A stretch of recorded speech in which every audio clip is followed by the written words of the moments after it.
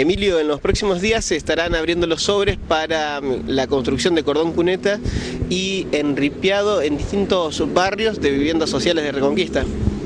Sí, concretamente en los Fonavis.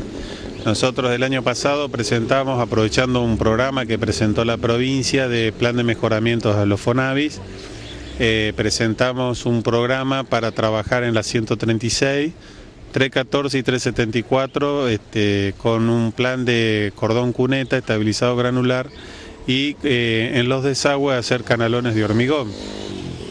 Afortunadamente llegó a buen puerto, este, eso fue derivado a Vialidad Provincial y a través de un convenio con Vialidad Provincial pudimos conseguir los fondos correspondientes a una primera etapa por 1.250.000 pesos que es lo que vamos a ejecutar y que eso nos va a permitir desarrollar la obra íntegramente en lo que es 136 viviendas y lo que sería prácticamente todo 314.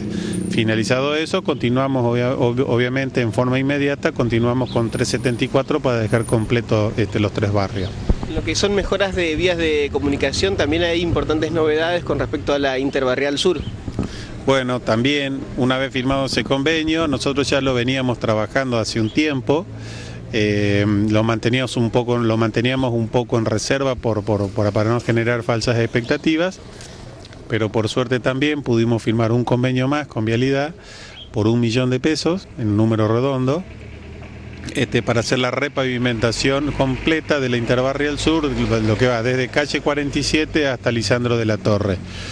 Nosotros en este momento eh, bueno, ya tenemos la autorización del Consejo de, la firma del convenio, así que estamos autorizados a recibir los fondos y estamos en, una instancia de ver cómo, cuál va a ser la modalidad de contratación de la empresa. Este, creo que hay una, una definición en la Comisión de Hacienda por hacer una, un concurso de, de precios, de convocar a las empresas para hacer un concurso a los efectos de poder ganar un poco de tiempo, ¿no?